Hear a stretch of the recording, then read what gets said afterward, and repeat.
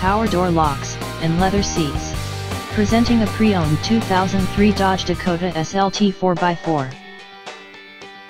This two-door truck has an 8-cylinder, 4.7-liter V8 engine, with four-wheel drive, and an automatic transmission.